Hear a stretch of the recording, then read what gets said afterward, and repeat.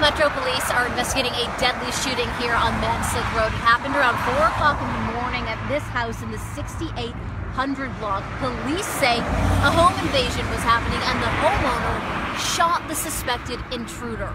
Tonight, we'll hear from neighbors who say they haven't seen anything like this right here in this neighborhood. It makes them a little bit worried. I'm WLKY's Carol Callahan. Tune in to WLKY at 5 and 6.